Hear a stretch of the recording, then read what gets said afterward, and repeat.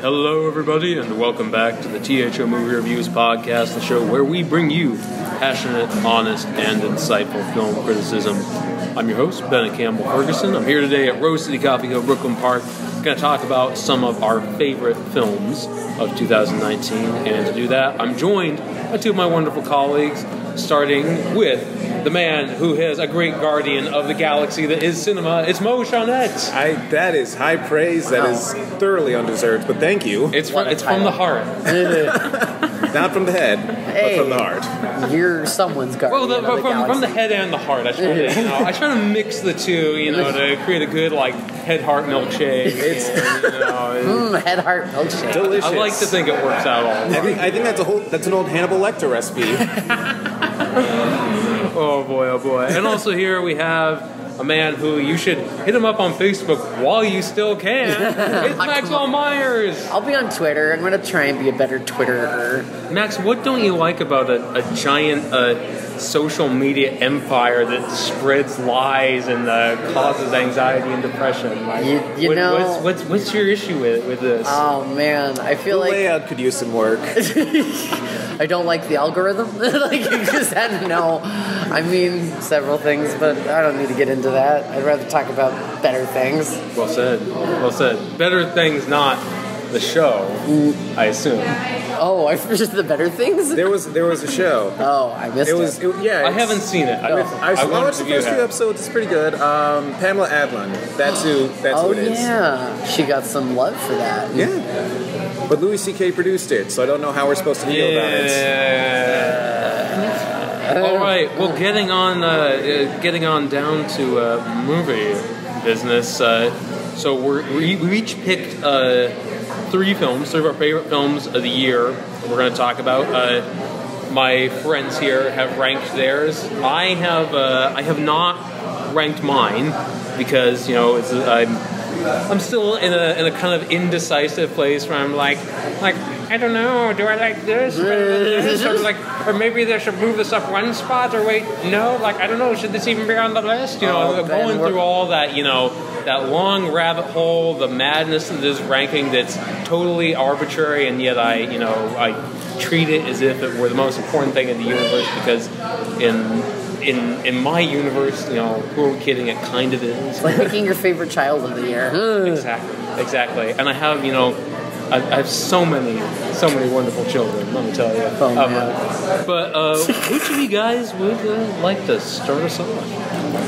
I guess it's me then. All right, I don't know. So for my number three, this is some. This is a movie that uh, uh, came out a while ago. A, a lot of our picks, I suspect, will be around now because it's Oscar season. So everyone like drops everything in in, in, in fall and winter, um, and also because you know the big uh, the festivals have played, so we know what's what's what's going to be big, what people are responding to.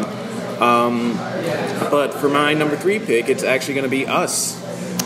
Written and directed by Jordan well chosen, Peele well chosen. the set his his sophomore feature. Um, I, as I've said, I, I po- probably here. I am usually not one for horror movies. I don't like getting scared. It's not something I'm comfortable with.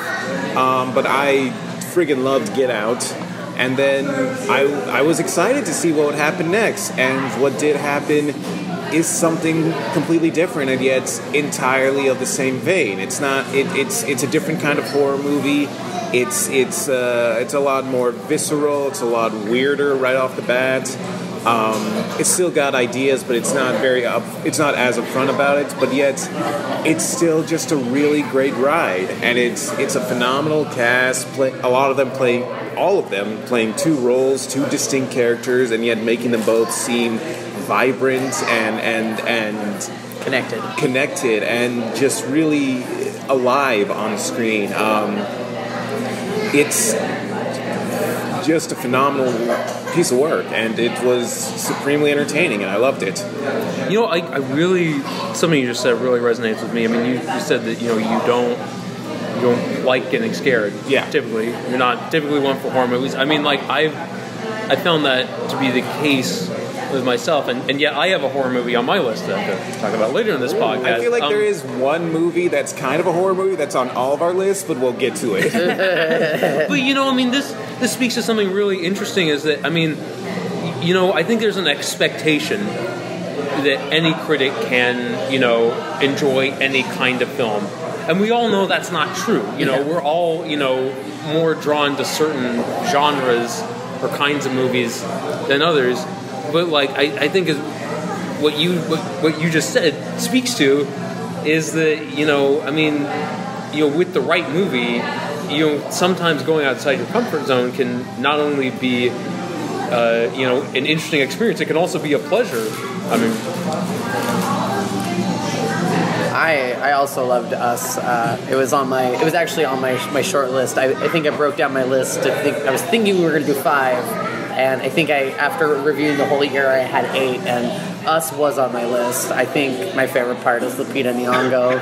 Uh, I love a movie that's really well written, and I think Us once you reach the end, unlike some horror movies, you're like oh shit, I gotta see that again. And like immediately, like everything has a different meaning of the second time around. It feels when we different. reviewed it, that was the second time you'd seen it. Yes, right? and I felt. I think if you go back to our review, there's a little, there's a little difference, and I think there are a few movies. I mean, there are some movies you're like so good, you're like, I'd watch that again. But Yep. there's so few movies I'm like, I need to watch this a second time. I feel like it warrants two viewings to really fully understand it, and uh, it's really sad that it's uh, dropped off the awards talk this year because I mean, Well, I can't say. Though, I, there's been buzz for her performance, and rightly so. I mean, or her two performances. Yeah. I should say. I mean, But they, they've sadly been forgotten. I mean, they're unlike Marriage Story, which I just watched. I don't know if I'll ever watch that again. This, I mean, Us was one I was like, I need to watch this again. I have to, like, to fully understand it. And I think that's why a lot of people have forgotten about it, is because I don't think they realize, you know,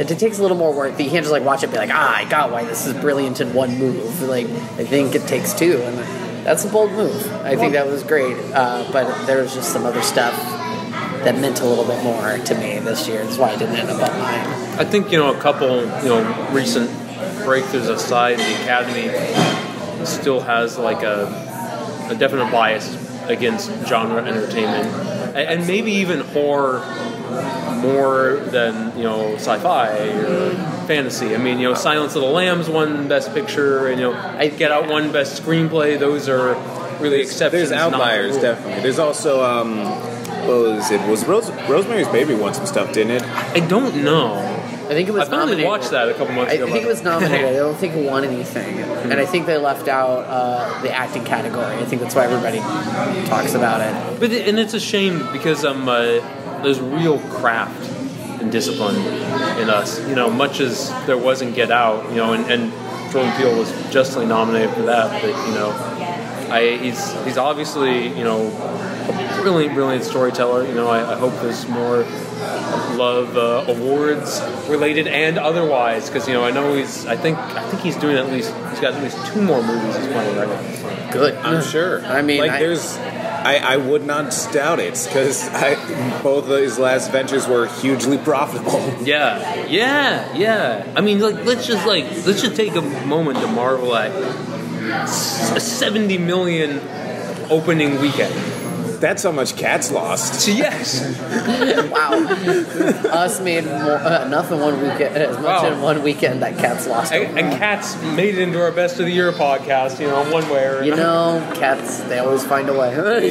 It's it's it's just a thing. It's that's where we're at. Max, what's the first movie you want to talk about? Um, I would like to talk about Queen and Slim. Actually, yeah. It's a late late release. Uh, it's directed by Melina Matsoukas, Mm-hmm. who I think this is her directorial debut. This is her feature, Feature debut, debut. but she's done a lot. She did a lot of music videos with Beyonce and, Yeah. and stuff. And I didn't even realize she did the Formation video until after the word. But it stars uh, Daniel Kaluuya of uh, Jordan Peele fame and Jodie Turner Smith, and they turn in some amazing performances. Uh, I was convinced by my boyfriend; he really wanted to see it, and I was like, I have a feeling I'm going to leave this feeling bad, and I have a hard time signing up for that. And also, the trailer didn't lend much to it and but I was so surprised, and it really stuck with me after the fact. It's just everything about it. The acting in it is phenomenal. It's sad that it, it's again one of these things that just kind of has gone under the radar. Things have been louder than it. Uh, yeah, the way it just all unfurls. I feel like these two people are like living there every day and every minute like it's their last in a way that we haven't seen it in since. I mean, it's going to draw a lot of comparisons. I think to Bonnie and Clyde and Oh yeah. Thelma and Louise, and you know, for every bit of sexiness as it is, it has a lot of truth that hurts a little bit. Um, and it just sat with me days, weeks after the fact. I was just, I'm still thinking about it, and it's beautiful. And that was one of the directors uh, I was talking about. I'm just, I'm like, okay, you have my attention. I'm ready to see what you do next. Lena Waithe uh, did the writing, Yeah. and yeah, I, I, I have only good things to say. I'm just like, I hope everyone goes and see it. If you have a chance, watch this movie. It's, it is good. It will break your heart, but uh, I think it's uh, it's so measured, and also I think the the director really paints the American South in a, in a way that is both hideous and beautiful. There's long sweeping shots of like the Florida Keys and parts of the South uh, that you just you see in movies, but they don't treat it like she treats it like it's something to actually look at. And I think there is that eye of like, wow, there is a lot of beauty around here, but just as much beauty as there is in the trees and the swamp and the bay and the people. There's also terrible, awful gas station, white gas station attendants who will really puts you on edge and it makes you nervous. And it was, yeah, it, it really stuck with me. I love it. I would say go see it. I haven't seen it yet, but I, I, I think you saw it, right? Mo? I did see what, it. What did you think? I loved it too. It's it's in my top ten. It didn't make the cut to the top three, but it's it is really great. Like, like you said, phenomenal cast. I also want to give a shout out to Bokeem Woodbine. Oh, yeah. because I saw him in season two of Fargo. He's great in that. He shows up here and he's so That's good. where I saw him. I was like, why does he look so familiar? I want him to be in more stuff because he's so, like he's got this such such this unique energy to him where it's this laid back charm that's really like effortless but really captivating and intense. and intense. Like he's so he it's there's there's so few performers that like you can you can nail down that energy like that. Um, that one it's it's so much. It, it's it I, and, and I'm also like fast like there's the one of my fa- one of my favorite little scenes in there. Just this this one moment where um they uh they they stop by a gas station. There's some people who recognize them and they're like, "You guys caused a lot of trouble." Because what what you did, it's it now everyone is cracking down on on black people across the nation. You should have just taken the ticket, and it's like that's another perspective. It is. and it's where's and it doesn't demonize it. It doesn't. The, the movie doesn't paint this character as like some some misanthrope or someone wrong. And it's it's like where what what decisions do you make? What battles do you fight? Because these are people who don't have the luxury of they facing every injustice as we see in the movie. Um, so it's it's that that sort of those smarts are it's it's very appreciated to see that that kind of that perspective of it. That's a really interesting idea, too. Like, like so many movies take place almost like solely inside one character's perspective, Yeah, and like to step outside that, I mean, that's something really fascinating. absolutely. there's a lot of and there's just a lot of choices that make you i think feel I mean, conflicted. It's. I think at sometimes you're like. I mean, I think you're rooting for these characters at all times. Oh, yeah. It's the circumstances that have brought them here. It doesn't feel right for them to lose. But at the same time, yeah, that was a really nice moment because that was pretty far in, and at that point, we'd had lots of people who had recognized them, but were offering them safety or shelter or just like the ability to look away and not notice who they are. Uh, and this was one character who was like, I don't respect your decisions. But he is also still fully aware of the situation. He was like, I'm going to help you, but it's also going to cost you money. And I think, and it, yeah, you're right. It's just, there is a lot of things in there that I don't think there are a lot of easy answers to what's happening. Like, you can't be like, oh, well, this person is obviously in the wrong. And you're like, like this person, I think there's a lot of gray area that this operates in. And Because there's some stuff that happens from people who we identify as good people who don't make decisions that are necessarily right and morally justified. Yeah. Um, So it's it, it plays with your expectations like that. Um, it's so, it's so good. Go see. Also, I see it with a black audience if you can, because that's what I was lucky enough to do. That I did not get to see Black Panther with a predominantly black audience because this is Portland, but I did get to. They, they had a screening of it, and like it was the first half of the of people who showed up were like uh, this. The, I think it was just just this all black book club who all got passes to see it, Uh. and it's it's it's I, I love seeing the reactions of it. I love being in a theater like that where it's where people are, are where there's that give and take with the screen and the audience. Sure. I live for that stuff. I did. I, I did actually get to, but I think it's only because I waited so long. It was only playing in one theater, and I- so I think if you live in Southeast Portland, it's like if you want to see Queen and Slim, you're going to this theater that's playing it three times a day. We caught a really late showing, but I, I, I you, you know, I did remember it was just the beginning, the opening scene with the the the police officer when they first get pulled over. I mean, there's tension in the room, and oh, as yeah. much as I feel like I could feel it, I had to recognize. I was like, the feeling. Some people are feeling a lot more tension, and that's and I think that's. I think that movie brings it up, and I think if if it can generate that feeling amongst. I mean, everyone who maybe don't have that feeling is. Yeah. I think it's good. That's why when we were talking about like what movies are we most anxious to talk about, I was like, mm. I'm not entirely sure if this is my number three movie of the year, but I definitely want to talk about it. Sure. Because I do think it's worth seeing, and I was I was really blown away. I was very apprehensive to see it because I, I just have a hard time signing up for movies that I know will make me feel bad. Well, I have a movie that I'm anxious to talk about. yeah, what's your number? What you got? Well, it, it- it's a movie that took me back to an old film comment article, 2013, uh, right when uh, American Hustle, The Wolf of Wall Street were in theaters. And the article said, uh, you may be surprised that there are two Martin Scorsese comedies in theaters, albeit only one directed by Scorsese himself. Well, we now have a similar situation this year. We have two Scorsese crime movies that came out, except uh, only one, The Irishman, was directed by Scorsese. The other were the other one was Scorsese in, and I have to say, I think like with uh, American Hustle being, in my opinion, better than The Wolf of Wall Street. I think. Uh, American Hustlers is a far better Oh, thank. God. I was worried you were gonna Hustle- say- Hustlers, yeah. I was I was worried you were going to say Joker, and I was going to get real Oh, issues. No, no, no, no, no, no. Oh, uh, Hustlers. Hustlers, yes. What? Hustlers. Heck yes, Uh, yes. uh, No. Yes. I haven't watched it. I just. Oh, well, then you can't suck, man. That's what I'm saying. Is like I keep hearing good things about this, and I just it, again, this is one of those movies. That I'm like, okay, like it's like she got a lot of praise for getting her body in shape, but I that's like about it. Now I'm like hearing Oscar talk for J Lo, and I was like, really? Well, Did here's I miss something? here's what I love about Hustlers. I mean, for uh, those of our lovely listeners who don't know, it's based on a true story.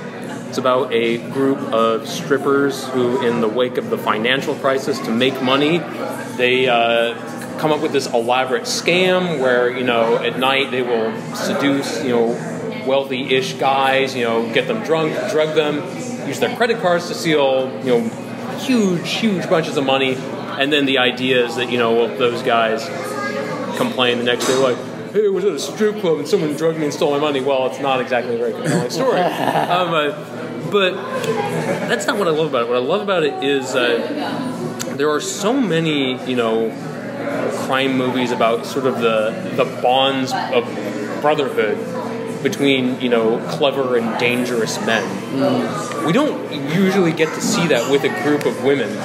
And it's uh, you know even though the the threat of the patriarchy is is very present in Hustlers, as arguably the villain of uh, the movie, it's it's so uh, it's so focused on the women and their their friendships, and that it reminds me of a, a piece A.O. Scott wrote where he talked about uh, you know the the dynamic that Jennifer Lopez and as the ringleader and uh, Constance Wu as her protege have.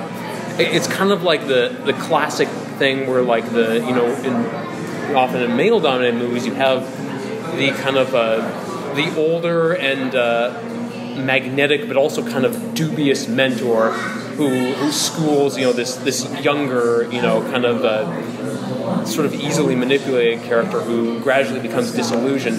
And it was so powerful to uh, to see that dynamic between two women and two absolutely brilliant actresses, but also to um uh, to you know kind of to see it done with that level of complexity. I don't see this as a comeback for Jennifer Lopez. I think she's great in whatever she does. I see it more as like this is the first film, maybe in a while, that's worthy of her immense talent and allows her to play this character who is kind of a motherly figure to this group of young women and is you know kind of nurturing them and guiding them but at the same time you know and, and that's that's genuine you know her love for them is genuine but then you know she is also a criminal she also makes you know It's a business. it's a business, yeah, and and the, the the conflict that breaks out within the group, you know, really speaks to that kind of the the tragedy of everything splitting apart, and then and then also I just I love I love the images in the movie. It's it's visually I think one of the most potent films of the year. Like just there's a great shot at the end where um uh, J Lo goes to the ATM and the camera like follows her from behind with the big uh, juicy logo on her back. And then like as soon as she gets the money out like the cops come for her and like turns up and she like raises her hand. She's holding a dollar bill and she lets it go and just flies away into the wind. And it's like wow like that's that's the whole movie in that one magnificent iconic image. I'm sorry for those of you who i just spoiled the movie for but but come on it's a true story what do you I expect mean, I how about this? You convinced me to watch Hustlers, which is something I didn't think anyone could do. really? I didn't. It didn't sound like What the I mean, hecky, man? I love for, Lizzo. for real for real I don't know. It just wasn't a story. It was like, yeah, I want to see that play out, and I love Constance Wu. Uh, I will say I do have a grudge against J Lo. I've never, I've never loved J Lo. Uh, I think she's a brilliant. I've never loved J.Lo, I think but I she's think a she's brilliant. great in this. I think again, and that's and this is the thing is I didn't hear anybody really singing a lot of praises when it came out. Nobody was like, "Go see Hustlers." I heard people really enjoyed Hustlers You and I were listening to very different people. apparently. and so, well, I was also going through. I, I think that was when I was moving. Was when it right around when it came out. Wasn't Could it? be. September I don't know when you were September. moving. I mean, yeah, that was a very busy time of my life. I don't know your life, man. You don't know my life. Uh, I mean, I heard that J Lo did a striptease to a Fiona Apple song, and I was like, I'm, th- I'm for that. That's an amazing sequence. And that's- like I'm, I'm, I, that sounds like someone who like a fucking gross film bros trying to justify enjoying a scene that's a, a, a striptease, but like no, I heard it. Was, I, that's one of the things people talk about well- is how good it is. like that for SARS. I'm pretty sure that is her dancing throughout the whole thing. oh it is It is. It's yeah. really well shot with just all the different angles, the neon lights, just the scene, the bit where just like she shows up and all the money just starts just flies into Yeah. the air. it's okay, how about Well, this? and here's, Again, I here's, here's, here's, I mean, another thing that this this brings up is like, you know, this was um, uh, this movie was directed by Lorene Scafaria, and one thing that I I think man she directed. wrote, written and directed. One thing I think she did brilliantly is, you know, I mean, you know, you're shooting, you know, scantily clad women, you know, doing these very sexy dances, but uh, she does it in such a way where you're, um, uh, you, you know, in, instead of viewing it in terms of like, yeah, man, bring It's it on. not titillation. It's not. It's not titillation at all. You're you're watching, and you're what you're focused on is the uh, the craft and the athleticism, Yeah. and also just like kind of the. Uh, the fascinating thing that J Lo pulls off so well is like you know being this character who can mesmerize a whole room, who can you know move in such a way and work the crowd in such a way where you go, oh yeah, I want to give her my money, Mm-hmm. and the art of that and the manipulation of that, and I think it's uh, which is really powerful to I watch. mean, there. I've known plenty of strippers to know that it's not as easy as just like showing up and taking your clothes off. It's there's there is more to it than that, and we live in a city that's very sex positive that really treats some stripping as an art form. Yes. you just and you can see it shows when you go to some where there's like some woman climbing up to the top of the pole, spinning around down on her thighs, and you're just like, how? like this woman is like, I think she could beat me up. I think she could actually do some serious damage to me, and and I was like, I'm afraid of her in a great way, and it's and it's a real art. So I promise I will watch Hustlers. I promise. That's good enough for me. There me. you go. You Oh. convinced me. What's the next movie you want to talk about? Next movie I want to talk about, I'm not, I'm not going to get too deep into this one because I feel like uh, it will come up again.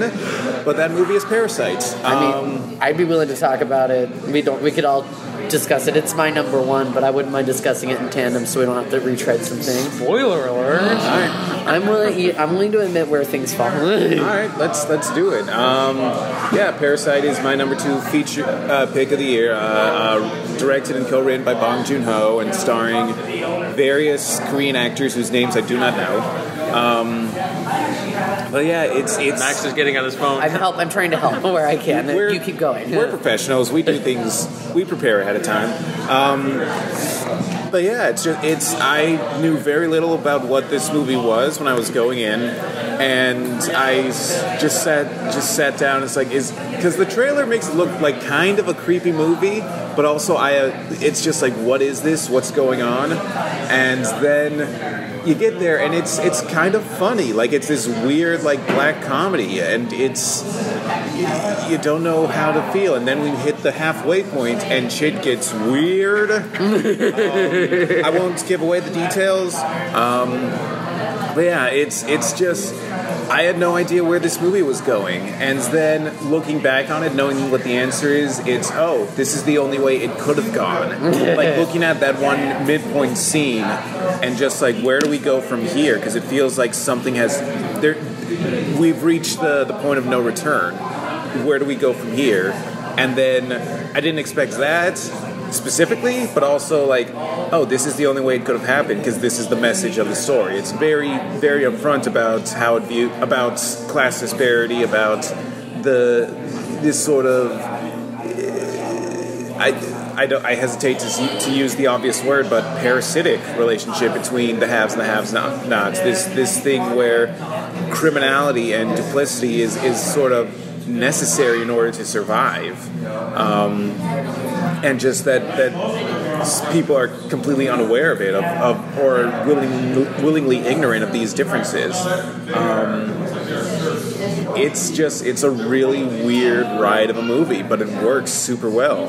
Do you, you know, um, do you see a connection between it and us as well? Because they're they're not only they're both dealing with with class and class disparity as the main theme, but they both have this uh, this visual metaphor of the the oppressed class, you know, being like almost being literally beneath the upper class and Literally then at some point underground. rising up. Yeah.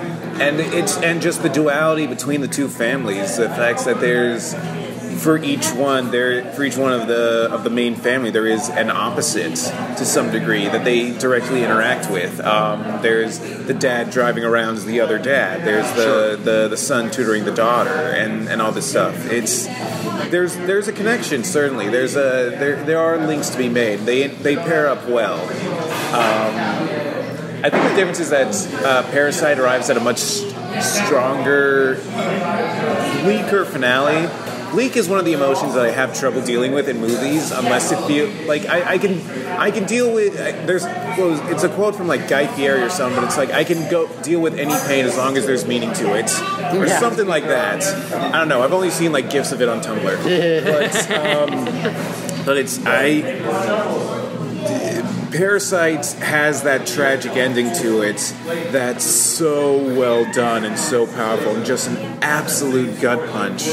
Um, it's it's phenomenal. It's really a great movie, and I'm so glad it's getting a lot of attention because usually a lot of like uh, uh, foreign features don't do that in the American market, but this one it's it's made an impression.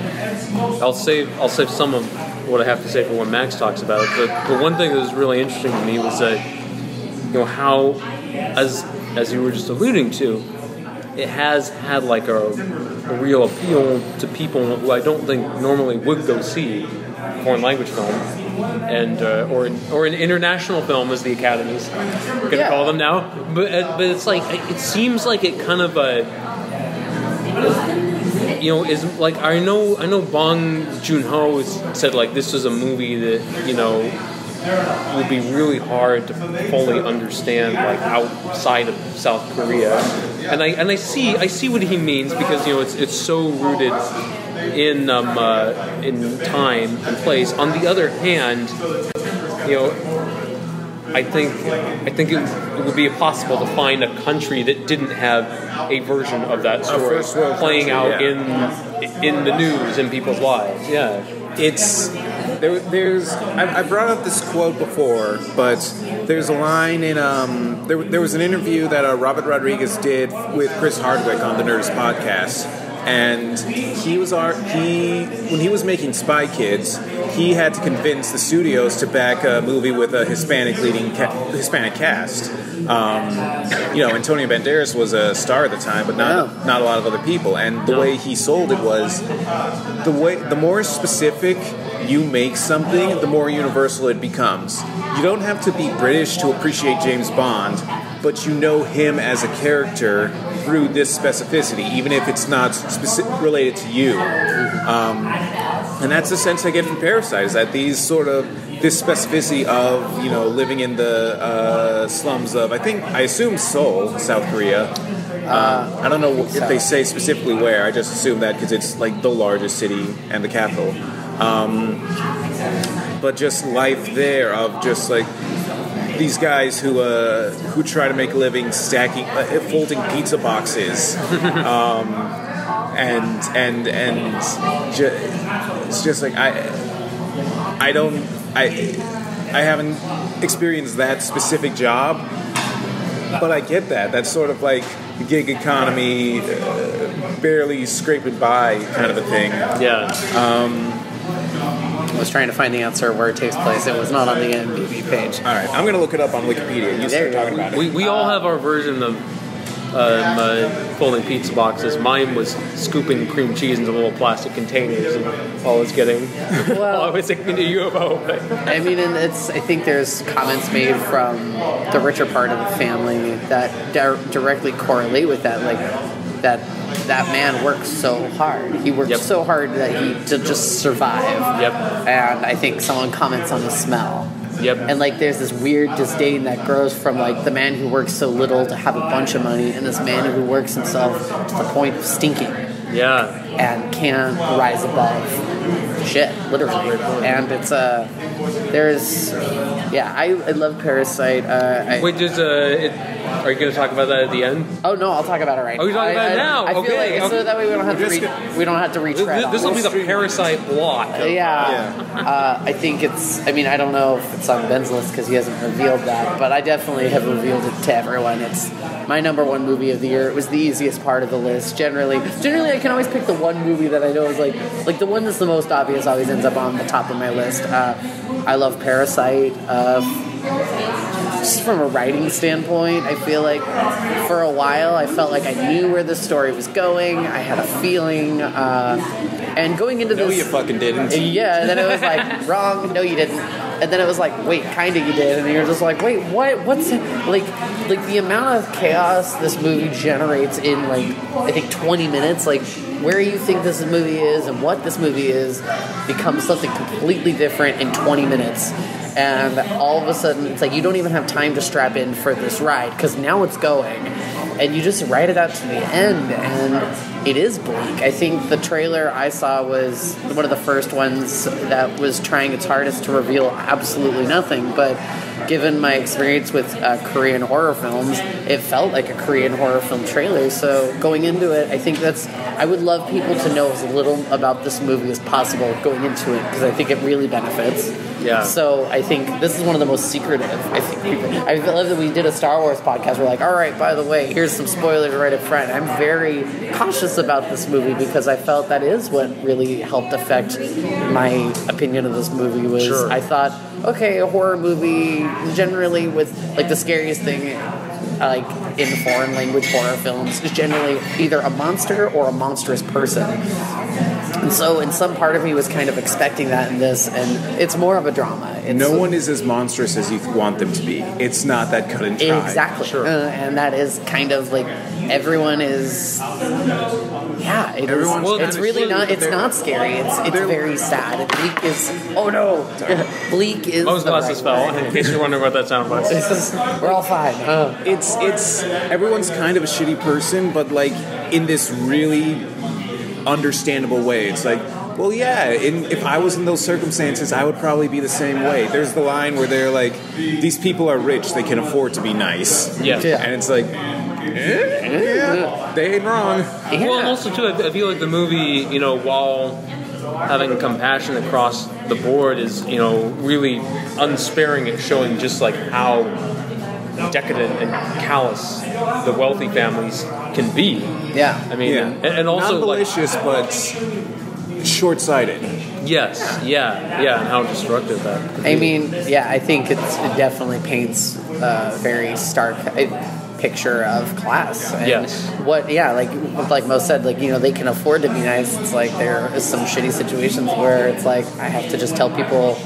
No, I can't because it's like I don't have the uh, uh, I can't afford to be that nice sometimes, Right. and it really sucks. It doesn't make it doesn't make me feel good. But uh, yeah, I would just say I was like I think this movie has spoken to a large. I love like I saw it and I was like, you know, this is probably the best movie of the year, and I don't. I wouldn't be surprised if it gets completely overlooked. And I've been so pleased to see it. Not only not overlooked, but it seems to be gaining momentum, and I think that's Oh, I think so, great. too. Yeah. Bong Joon Ho has been working for years. He did The Host, he did Okja, he did uh, Snowpiercer. Snowpiercer. Which I saw, and I should see. I, now I want to see it again. Yeah, I He think, also made the other movie called Mother, Oh yeah, Did he? the non-Aronofsky Mother. and I think they're Mother without the exclamation. Mother, mark. mother without explanation, and also mother. with an uppercase M. Grammar's but- important. But I think so. That's why I'm like, you know, I really think I was like, I'm very happy to see it going places. I was like, but I'll keep talking about it. I have yet to see something that just from start to finish just took so much from me and. Again, just like Queen and Slim, it has sat with me and it has like made its mark for the rest of the year. But it isn't so depressing, and this is what I love about it. It isn't so depressing. I won't watch it again. Although when it first came out, I was convinced I would never watch this movie again. It's beautiful to look at. He put paints this these beautiful portraits against just the shittiest circumstances, and he's he's a craftsman, and he's been working towards this, and it's nice to see him getting this. And I would really love to see him just go all the way, and I really hope he does. But uh, if he can't have that, he'll have my he'll have the award in my book. This is the best movie of the year for me. I. Uh, I, I can see it getting foreign language feature. Oh, it Well, will, that- that- it'll that- there's no easily grab that about one. that. I, Yeah, yeah. I think it. I think it deserves more than that, and that's that's why I think it'll it'll get shut out. I think we'll, I'll be happy to see Bong Joon Ho get the director nomination. I would really love to see that, and uh, if if more, I would love I would love for him to have all the awards. But you know, I'm also I have to keep realistic, and but I love this movie, and uh, yeah, I will say as little as I can about it. Just go see it.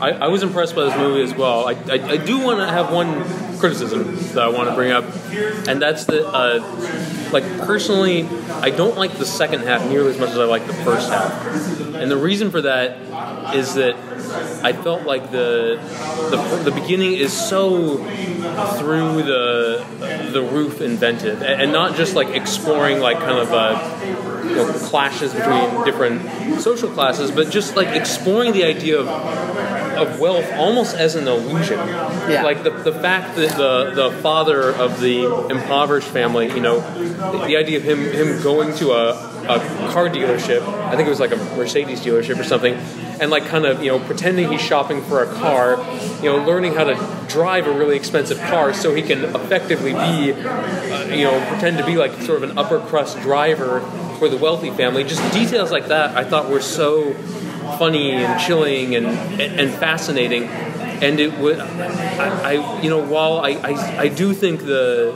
the finale is very good, it was a little disappointing to me to see like after, to see it kind of descend into you know kind of horror and violence and murder. And it wasn't that, that I didn't believe that was a logical outcome for the situation. I, I absolutely did, you know, and I, I believe that's that was you know a legitimate, maybe maybe even you know given what he was trying to say, the best path to take. But just like in, in terms of like you know wanting to be like maybe a bit more surprised. You know, like I, I almost like I almost wish like something even crazier had happened. Like Oh, God, I like there's like you know like there's the scene like where the the, the son of the, the poor family is, is saying like you know like oh you know maybe I'll marry the, the daughter you know this wealthy man and they're like well then someone else will have to pretend to be your parents it's like it's gosh my mind is filled with those possibilities like like what if that actually happened you know like what if they took it to a really you know a really truly Went to that level? logical extreme. I yeah, yeah. I'd be really, I'd just be really curious to see an alternate universe version of this movie where you go down a really wild path. I I don't know. I kind of love how I feel like they're like I said. I, I when I'm picking movies, I do pick on a comfort level. That's why again I have a hard time watching documentaries because a good documentary is generally talking about something that doesn't necessarily make you feel good because Sure. it wants Absolutely, to inspire yeah. change in you. And so It's it's, and it's its mission depends on your discomfort. kind basically. of exactly and uh, and i think in that way i was when i went and saw parasite i was not having the best day. And agreeing to see it was under like the, the idea was like oh, i'm going to see a korean horror film which will disturb me probably. It'll scare me. But then when i wound up in this i was like okay i think i know where we're going. Oh i see like i kind of couldn't really predict what was happening next but you know you usually guess. And it throws in such a wild card in that middle. I totally know what you mean. Like I feel like we explore some ideas in the beginning that, but I was like, just like Mo said too. It's like you reach this point, you're like, I can't anticipate what's going to happen next because it's all coming so fast. You're just kind of swept up in the current of it all. You can't predict what's going to happen, and then you get to the end, and you're like, I don't like where this is going. I don't like this ending, and but you also realize you're like, where, where else could we have gone? Like you can't like you can't rewrite the story into a nice, beautiful, happy fairy tale ending. And in a weird way, it's it's what it is. It's what it's going to be, and you just have to just be like, here it is. And that's I kind of love that there is there is so much chaos. Like I couldn't even prepare to be ready for that ending, and it's very rare a movie can keep you that unstable, and that's part of why I was so depressed afterward. I was just like, it kept taking. It just I hit my zero, and it just kept taking. It left me at a deficit. I just need dessert, and I felt like I could cry for an hour and just not stop. And that's what I was like, and the fact that I'm still like, let's do that again. I was like, I, I think really just speaks to the tale that's that's unwoven, and I think I'm, I'm ready for that. I, I'd be more excited to now that I know what's going to happen to Sure. view it through that lens, just kind of like us. Like, does it mean something different this next time around? Yeah. I mean, there's a lot of questions I had going into it, and I feel like none of those questions mattered after an hour. Like, Yes. I was like, okay, One, you know, one one thing I think it's powerful about the movie is it really, I, I think, oddly enough, in modern movies, suspense is kind of an underutilized tool. You know, we, we, we get a lot of movies that try to wow us and excite us, but to actually like like make us, you know, or, or scare us, but like to actually make us feel tension, you know, make us feel in suspense, make us feel afraid. it's actually different rare reasons. to see a movie that does that so effectively. And the, the scene where, you know, the main characters are, you know, under the table in a rainstorm, you know, while just feet from them, the wealthy couple is there, you know, having sex. I mean, it's just stuff like that. It's like you you feel the the closeness and the threat so intensely. Mm-hmm. That's a powerful thing. I saw it too, and I mean, it's easier to explain away, you know, killer clowns because there's no killer clowns, and you're more than likely not going to get dragged into a sewer by a clown. It's he paints, That happened to me a couple times. It happened to me that one Not, time, not, not, but- not for a couple months. Though. but Palm Springs, am I right? And But- that was the last time I drank tequila. but it, I think there is the, the story that is told in a way that you can, even though you're not an impoverished person living in Korea, like in this situation, you're fully aware of really like.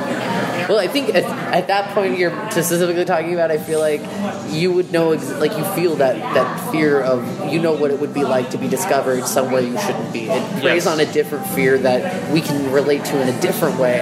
But then on top of that, you're even like, I felt like even like the fear was more real because at least it's like, oh, if I get caught, like this is what could happen. But given what just happened right before that, it's not even just the fear of being caught; it's the fear of everything else that is now just like falling down, and you just yeah, it's hard to just sit there. It's easier to imagine that fear. It's scarier because it's real. So, the next movie I'm going to talk about continues a grand tradition of me uh, hating a lot of uh, Oscar hopeful movies and loving at least a couple of uh, movies that are seen as kind of award season misfires. It's Motherless Brooklyn. Oh, I thought you were going to say cats. I really did. I was like, no, Ben, Yeah, it's the don't. movie that will not die, the movie that keeps rearing its furry head into Despite this podcast. losing again seventy million dollars, Oh, they really thought that was going to work out. they did. Really That's hilarious did. and sad. Made me It's, feel it- bad. it's, it's not cool to lose that much unless you're Blade Runner 2049 and you're Denis Villeneuve and you're artsy. Uh, um, losing a mil- million dollars isn't cool. You know what is cool? Losing a billion dollars. Facebook movie. All right, Motherless Book. Motherless Brooklyn. Okay, so for those who don't know, Motherless Brooklyn is uh, based on a novel by Jonathan Lethem. Uh, although it actually has almost nothing uh, in common with the novel. It uh, basically just takes the main character and puts him in a new story, moves the action from the 90s to the 1950s, and uh, the new story focuses on a private detective named Blind, played by Edward Norton, uh, who uh, also directs and writes. If I didn't mention that already, his mentor is this uh, this older, seasoned uh, detective played by Bruce Willis, and the film begins with uh, Bruce Willis being killed. And the Norton character having to unravel the mystery of what happened and why, which is uh, made difficult by the fact that he has Tourette's syndrome, and so he has to journey into this labyrinth of uh, you know conspiratorial doings in New York City, while you know trying to interrogate people, trying to you know masquerade as multiple characters to you know kind of or uh, kind of kind of weasel information out, or, uh, or mostly just this uh, this Sniff one out. journalist character he plays, and. Uh, uh, but while at the same time having these, you know, constant outbursts where you know he'll, you know, through no fault of his own, you know, you know, say inappropriate or awkward things, you know, in the middle of a conversation. And the reason I love it is it's because it's like kind of a an unabashedly idealistic romantic movie. It's a it's a movie that, that really really sells the idea that one loner walking the mean streets, you know, in a peacoat and a fedora with a heart of gold can truly uh,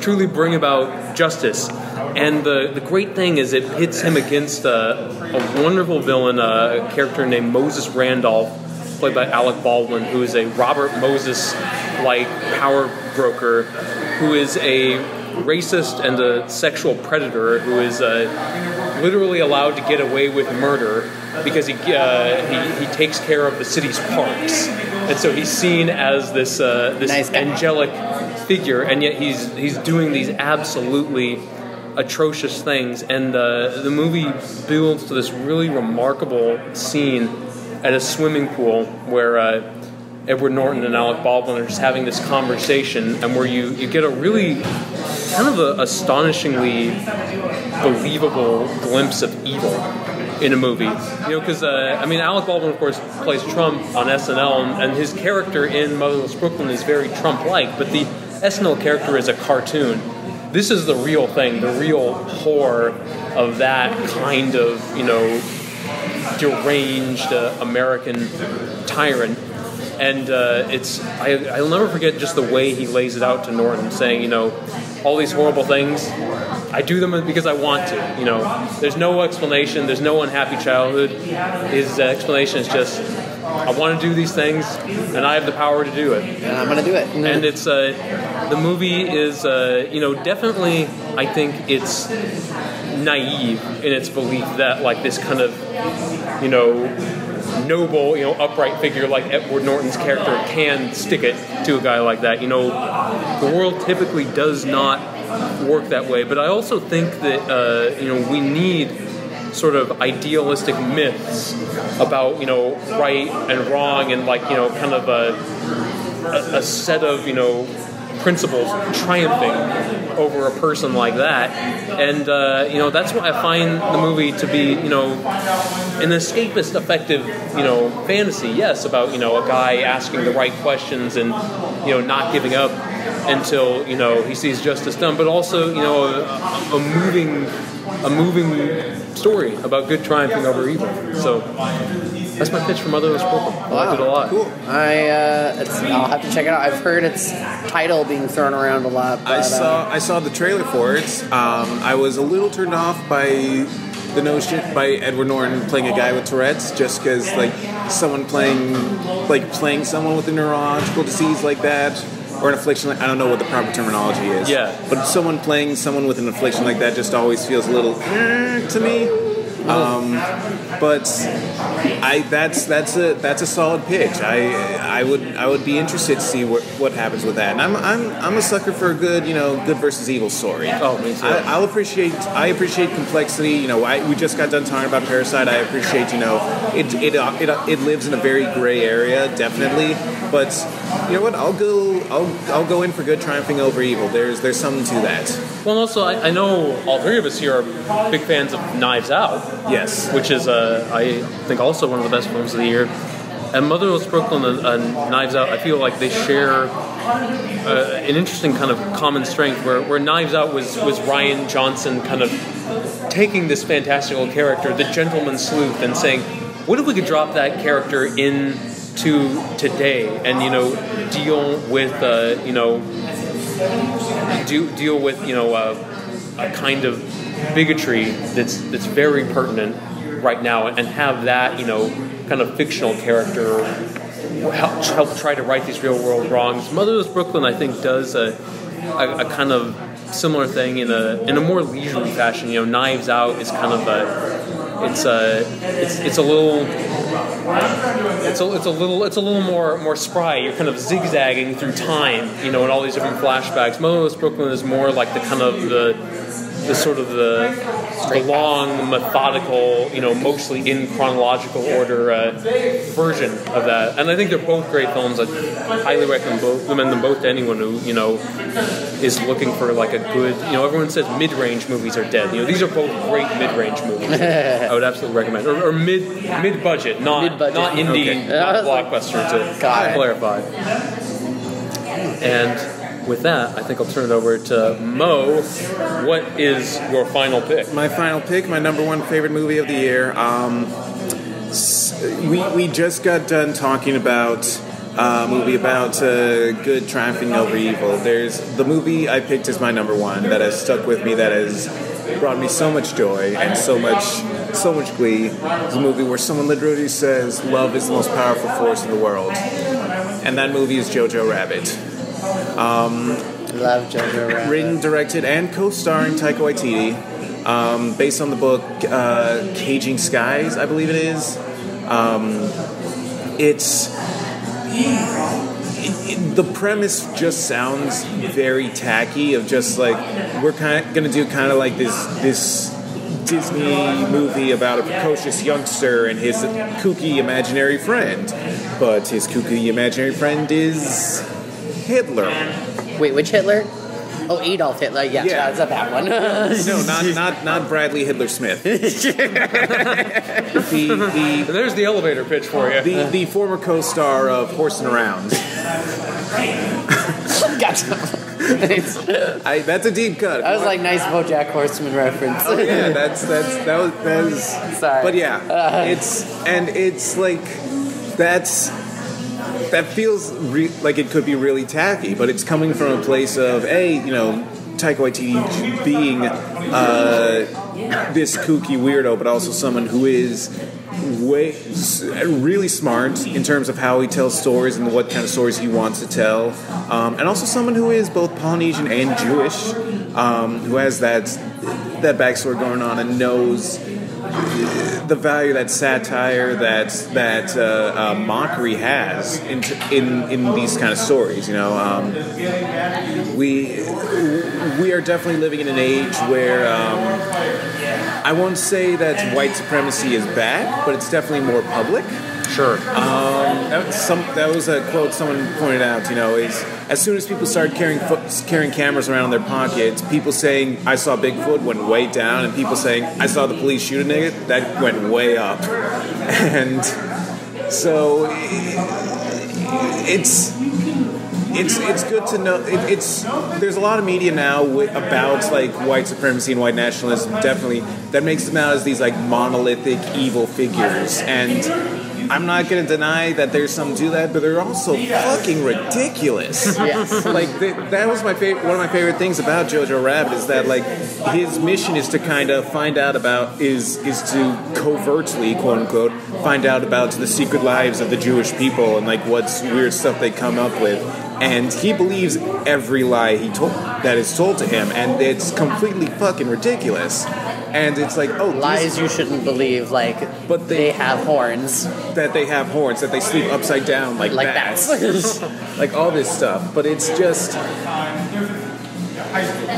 it's the fact that there are people who believe this, if not necessarily this ridiculous crap, but stuff like it, because that helps their agenda, because that helps them.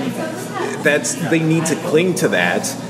It's important to remember, and also something else I appreciate about it is it doesn't shy away from the horrors. Because yes, these people are ridiculous, but they're also dangerous. But they also destroy lives. They kill people. They overturn governments. It's all this nightmare stuff that doesn't get swept away, and it's still funny and it's still heartwarming and it's this insane roller coaster ride of emotions. But it all holds together so well, and I I walked away with that, and it just it grew on me. Like I liked it at first, and then it's just like, no, this is this really works. This is re- a really smart way to do this. Like mo- uh, satires and and parody; those are things that I I have a lot of love for, and I love it when they get done well. And this is an example of that. So definitely Jojo Rabbit. That's my number one. But let me let me ask you something. I uh, like I, I haven't I haven't seen the movie yet. I'm certainly going to see it before the Oscar nominations come out, so I can speak about it then because I imagine it's gonna it's gonna get nominated for a few trophies, perhaps win a few big ones as well. Yeah. But um, I, I have I've certainly been aware of the the the fact that you know like on the one hand it's one of the most beloved films of the year, won the audience award at TIFF, you know very likely going to get a Best Picture nomination. It is also fairly divisive. Yeah. And uh, the one, at least one criticism I've heard is that you know the movie uh, is, is almost too easy on the Nazis, and you know kind of has this perspective of like, oh, maybe they, uh, you know, they they just you know need to be shown some compassion, and you know like some people feel that that's a that's a bit of a a weak message or unrealistic. But I mean, given what you just said, I imagine I imagine you disagree with that, and I just I, I- just wanted to give you the chance to like kind of like re- respond to you know those I- those kinds of that kind of discourse. However Yeah, so a lot of that definitely go- revolves around uh, the character of Captain Klenzendorf, uh, who's played by Sam Rockwell, and he's there's more to him than meets the eye, and he's more complex than the rest of the characters, and he's still very much a Nazi. He's still a patriot for the German army, but in a way that's different than the others. And because of that sort of nuance, that he's not part of this monolithic evil, it's sort of it, it's it, it, it, it can come across like there is more complexity to a hate group than just plain this uh, than the loudest members. Exactly. And the difference is with Jojo Rabbit, it never it never apologizes for him. It never states that he is that the things he do he does, the things he fights for are justified. Um, more than anything else, it just he's trapped. And there's some tragedy to that, but also it is a trap of his own making. And it's something that he's he has done this to himself. Um, and the other is the other character is Jojo himself, and Jojo is a child, and it's it seems easier to sway him to the right side to, to win him over because he's Sure. a kid, views everything through this lens of of being ten years old and not knowing any better. And I mean, I, I think I do you mind if I comment? No, yes, please. please. Yeah, okay, done. so uh, Jojo Rabbit was also on my list of five when I thought there was going to be five, and it was actually my number four, so it barely missed the cut. And I also was like, as long as someone's talking about it, uh, I have thoughts on it as well. I think to comment to that, what I really appreciate is it's uh, all about the timing and the setting of it. Uh, I remember when hearing the idea for this for this for this movie, I was like, I don't know if this is gonna work. And he toes that line. Taika Waititi toes that line in a way that I've only seen Mel Brooks really been able to pull off. Oh, yeah. And I think it has everything to do with the timing. Uh, I think it it offsets it because this isn't a movie at the beginning of the Holocaust. It's near the end of World War II. There's all a lot of the talk is about really what are we preparing for? We're getting pushed back, and you know the only other people, and I think it, it does a really good job at what I think is what I liked is that it didn't portray as like, oh well, some Nazis aren't that bad. It's no, is that there are other people involved in Nazi Germany, like the character of Scarlett Johansson, who she's like, I'm German, I love this country, but I'm sick of this war. I don't agree with it. I don't like what it's doing, and like that is the thing. There is the other element in that. Uh, there are people who are not Nazis who are just there, and it's you know they're guilty by association. But even then, it's like just because they're there doesn't mean they want what's happening to happen. And yeah, Moe's uh, the character Sam Rockwell has that. He is one of the outliers, but he just kind of seems over over it. Like he doesn't even really, and really, when it comes down to the end, he's more about what what he believes is right, but not about what to doing what's right. If that makes sense. I am talking about the ending. I'm trying not to spoil Yeah. it. Uh, it gets hard because I don't want to spoil it for Ben. Uh, is that there are there are the I think there's nice that there's no real nice Nazis. There are just complicated people who aren't Nazis, and then the ones yeah I think the ones that do get changed are the Sam Rockwell character, which I would say is an argument. But yeah, the other side is they do a really good. Again, it doesn't forgive him. It doesn't forgive him, but it does. I, I didn't. I didn't feel like he was forgiven. It was just more like, okay, there's a lot more He is capable of doing the the right, right thing given the right circumstance. He just hasn't up until this point. Well, let me let me ask you guys guys wait, this. one more other Okay. thing is that, uh, and then they I think they point out that JoJo isn't. He's not a Nazi because he believes in it. It's that he just wants to feel like he belongs to something, and that is the saving grace. It's not that he's a good Nazi. He's just a child, and he wants to be a part of a club, a group of people who he feels like. And we all, who hasn't at least once in their lives thought, you know, these people seem cool. I should hang with them because they're my friends.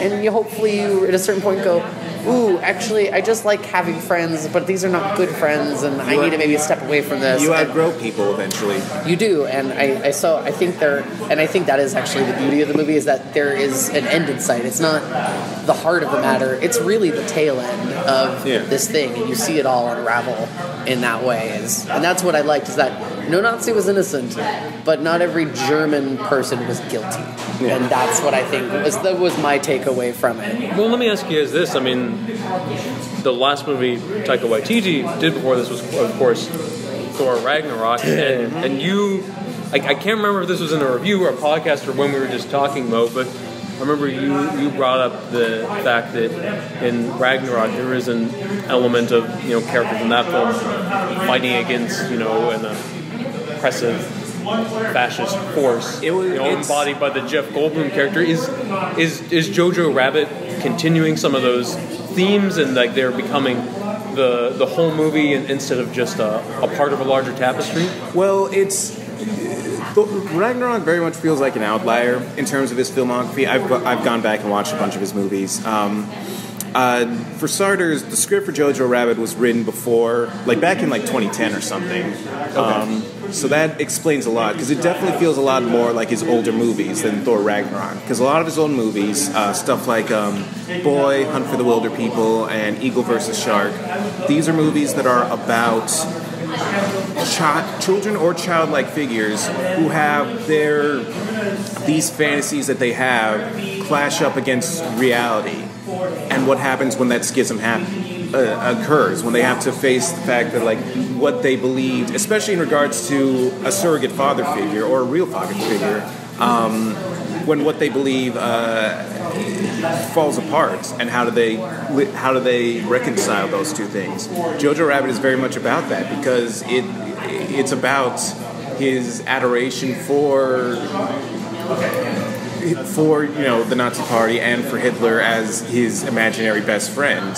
And then what happens when he realizes the, what these people are saying isn't isn't true? What what they what they believe isn't right, and what's what it's doing to these to this country to these people is inhumane. Um, so Ragnarok definitely. Ragnarok's a whole other discussion. I'm not going to go into it. Um, but yeah, it's it's definitely it feels like of even before I saw it, I was like, this feels like his sort of story. Sure. Yeah. yeah. I uh, yeah, I, I loved it. I would say I would agree. I think Thor Ragnarok was an opportunity he was given, and he was like, "Yeah, I want to do this, but I want to make it weird." And I think there, I think he was one of those again, Marvel trusting a director, and I think I think it reeks of him, like just the dialogue and how everything's delivered and the funness of it. But I wouldn't say I would say other than realizing you got to fight for what's right is really the only common theme. I feel like. Yeah. I mean, it would be hard to, to compare Jeff Goldblum's character to the Nazi Party. That's a really big ask. But uh, I think he, yeah, I would say that. he did, well, it, it's it, the difference is it's about belief because the Nazis were defined by their because in this film at least they are defined by their beliefs and Jeff Goldblum in, in the Grandmaster in Ragnarok doesn't have any. He just Sure. He just likes being in power and making people fight for his amusement. Those are very different kinds of evil. Yeah, I had a oh nice funny. We were literally talking yesterday about uh, neo Nazis and. Uh, my boyfriend and I, I joked that I said I was like I feel like most neo Nazis and regular Nazis, I would say at least a nice percentage of them are just suppressing being gay, and I said it has everything to do with the fabulous outfits. They're all it's like it's, it's not the ones that just hate black people or Jewish people. It's the ones that are also like the really neat boots, the tight haircut, and very into the like the personal like fashion of it, and I, I love that it kind of gets explored with uh, Alfie Allen's character, who's like the second-hand man to Sam Rockwell, and there's Alfie Allen, I didn't even know. yeah. and he's uh, and he definitely there's There's- there's some, some like going on question. There's like you're like, are they gay or is this just weird? Because it's like because it's like oh, like at one point Sam Rockwell's like, give me a cape, like and that's why I'm like I think there is some part of this. I'm just like. So it is funny we are talking about like that. I was like, I think I think fancy neo Nazis might just be a little gay. When it comes to like when you have to also address the appearance and clean cut nature of it and how that's a factor, most people would go, no, I don't think that's an element, but okay. and I love that it is slightly explored a little bit. So there is some fun stuff there. Well, heading into the home stretch, Max, what is the final movie? What Well, is the the- number we two talking? pick? My number yes, two pick. yeah, your because we number already- two pick at the end. We talked about my number one film already. If you uh, haven't heard about that, go back and listen to it because I'm not going to mention it again. Uh, my number two is actually Booksmart. I love Booksmart. I dug it. It's one of the few movies this year I have seen twice in theaters. I, I that I honestly am just like I need to buy this movie as soon as possible. Uh, I think going into it, I was like, you know, this might just be a female Superbad, but that's okay. I think there are some stories that warrant just like a gender swap. We were just talking, funnily enough, I was talking about this with my dad. It's like you can take some stories and like, oh, we're gonna do the same story, but we're gonna flip it to be a woman, and it's like it doesn't change anything. I was like, and I think this is one of those instances. It does change something. Being a teenage woman in It changes a lot. It changes a lot, and the fact like trying to fit in. And I think, I think this movie does a really wonderful job. Uh, Olivia Olivia Wilde directed it for directorial debut, right? I think Yep. feature. Yep. At the very least, for feature debut. Uh, I wouldn't be surprised if she's done some like TV. yeah, and past. she's amazing. Kaitlyn Kaitlyn Dever and Beanie Feldstein play the main two characters. They have played it safe their whole life, and even though they're going to a good college, so does everybody else who just basically decided to fuck around and do all the fun stuff. And Beanie feels upset. She's like, we played it safe and we got exactly what everybody else did, but we had no fun. So they want to do one night of fun. So this the premise isn't too far out from the other one, but I laughed so hard. They do enough different things, and it's just enough time away from Superbad. They can do new things. Uh, also, the cast is amazing. We have Jessica Williams, Jason Sudeikis, uh, Lisa Kudrow, Will Forte, Billie Lourd.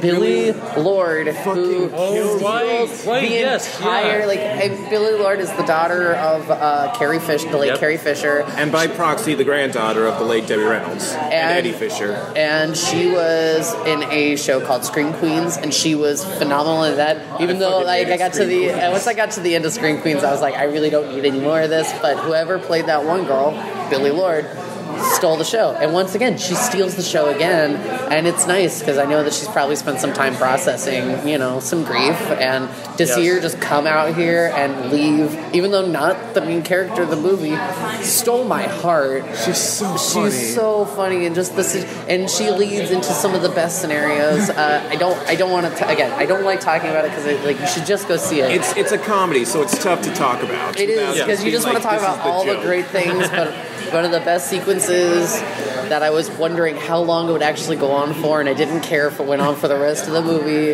Is at one point they take some drugs oh, inadvertently and.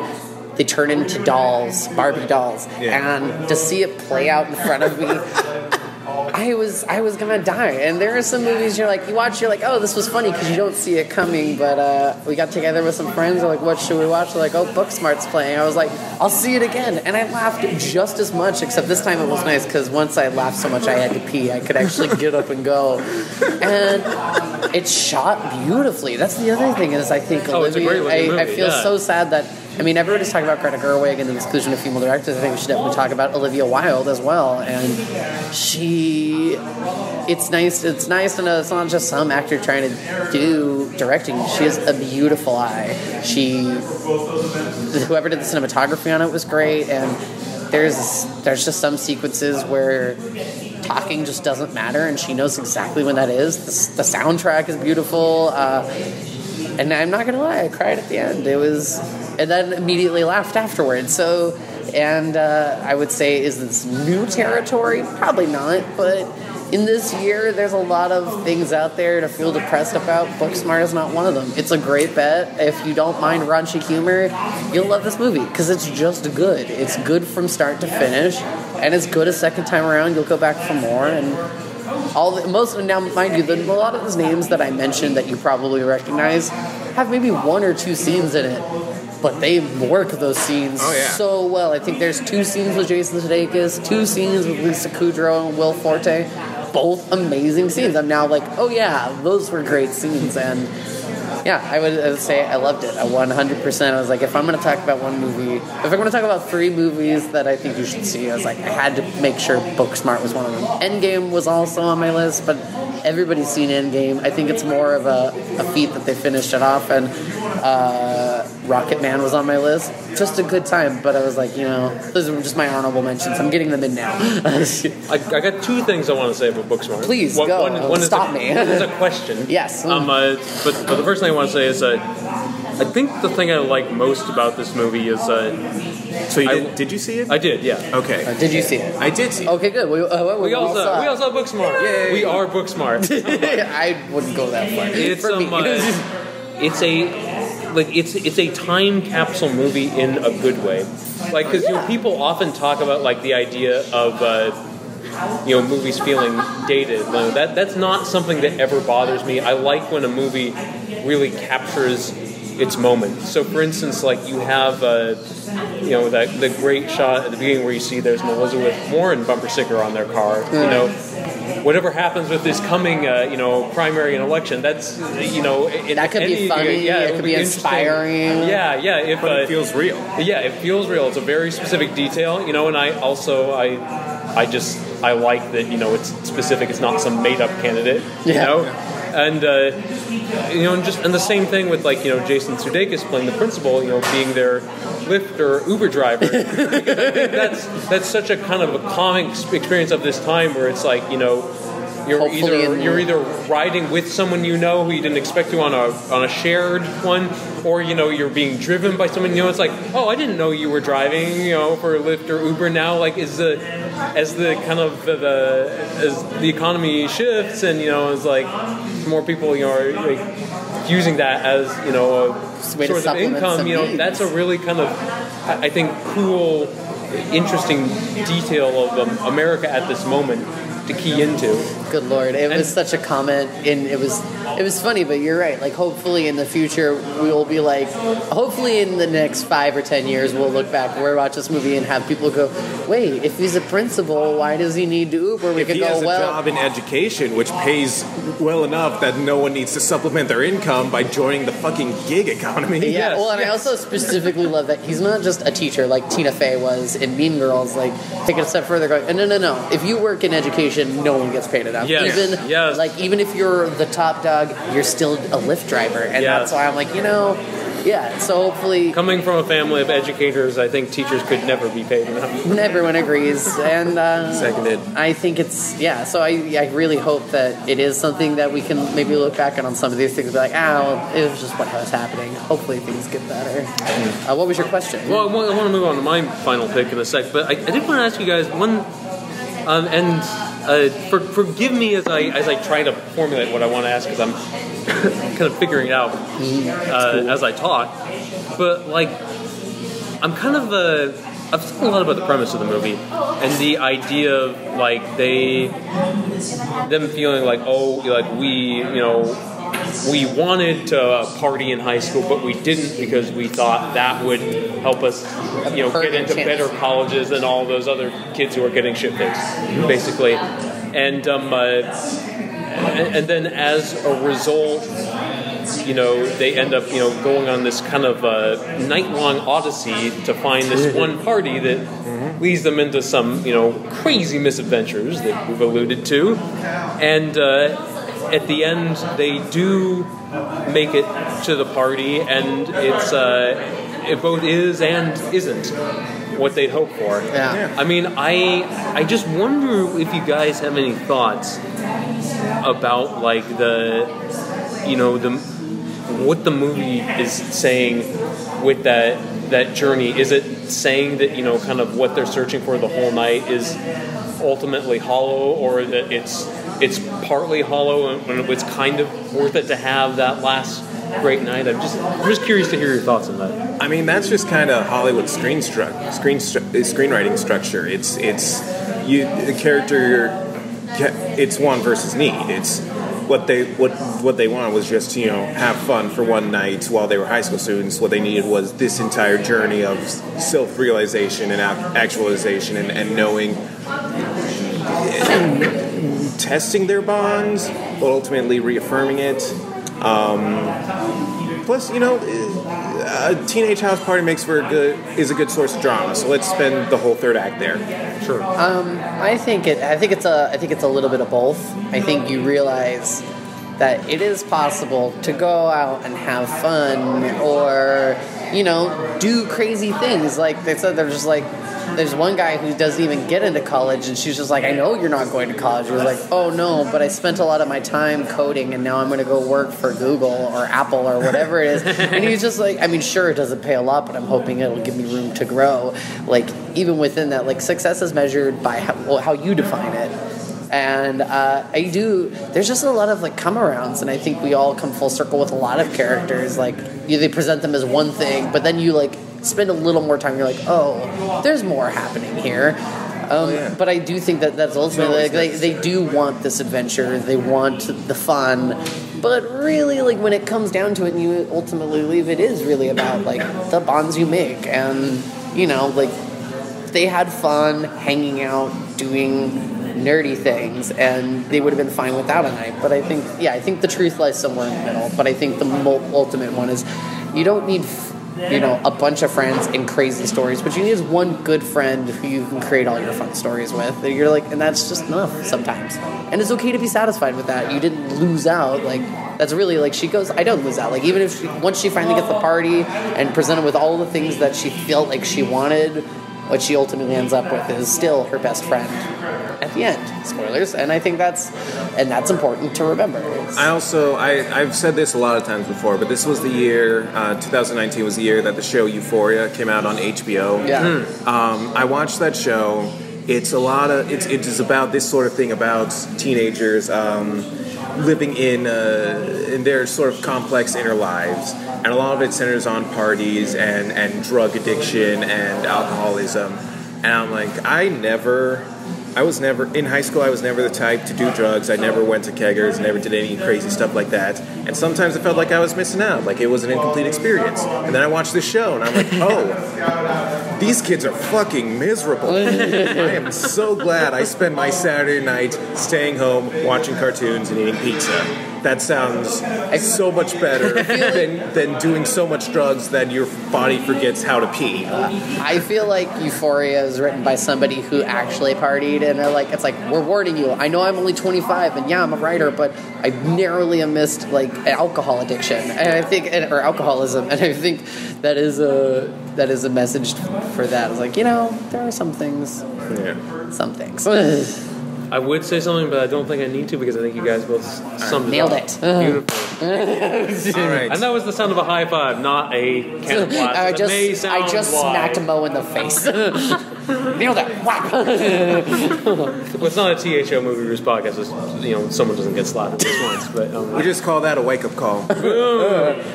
all right, so my final movie that I'm going to talk about. It's not my favorite movie of the year, but um, uh, I I love it, love it, love it. I'm more than happy for it to be the last one that I talk about. And uh, you know, as we were talking about earlier, not necessarily liking being scared, but this is a horror movie. It's Midsommar. Oh, thank God. Again, I just kept worrying that Joker was going to come up. I don't think it's really a horror movie, but I mean, there's uh, debatable. Midsommar. Midsommar. Midsommar. I Yes. did I not am- see it. I'm, can I just say real quick before you Yeah. go? I'm honestly surprised. I did not think it was going to be Midsommar. Like even leading to it, was like, what horror movie could you be talking about? But uh, Did, did, Like, what was did you see it? I did see Midsommar. I saw it as soon as I could before it could get I, spoiled. I, I read a synopsis online and I saw bits and pieces because we had at, at the Fox Tower for a while. So I did. I saw it in theater checks. All right. So Midsommar, it's um, uh, about a young woman named Danny, played by Florence Pugh, and uh, the film opens with uh, one of the most sickening tragedies that I've seen on screen in recent memory. Her uh, her sister uh, murders their parents and also kills herself. And uh, I would say Just- spoiler, but it's in the first five minutes. Yeah. Yeah. And it's And an ju- exciting incident. and at the and uh, her her no, boyfriend the of uh, Christian, played by Jack Reynor, is about to break up with her right before this happens. So you know, because she's going through this agonizing time, he stays with her while being, you know, allowing resentment to kind of you know coalesce and you know you know being this you know horrible you know passive aggressive partner when the kindest thing to do would be to just you know dump her because her his uh, his quote unquote comfort is really making things worse in a lot of ways. But uh, what the real meat of the movie is, uh, he with some of his friends are going to this uh, uh, festival, a pagan uh, gathering, if you will. It happens every 90 years in Sweden. And so uh, Danny, not wanting to be alone, decides to tag along with him.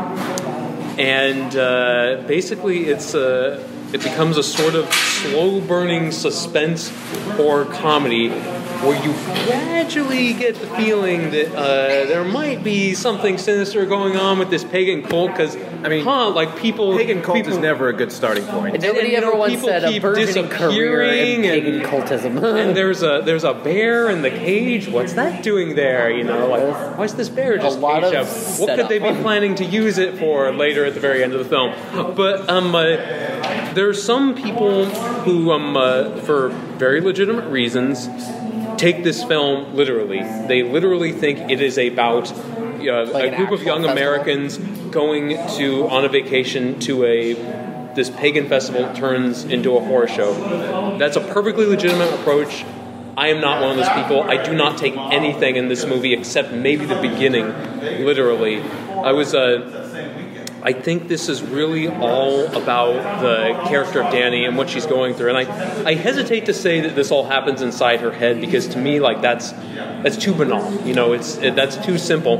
But I think that the uh, the the cult and the uh, the increasingly gruesome rit- rituals they go through are a kind of uh, manifestation of you know what she's going through and her realizing that she's in this uh, toxic relationship and has to kind of purge that from her soul and it comes to this really extraordinary climax that is uh, that I think is really one big brutal and beautiful metaphor where she's literally kind of uh, erasing that toxicity as if by fire and uh, it ends with this smile that is both chilling and wonderful.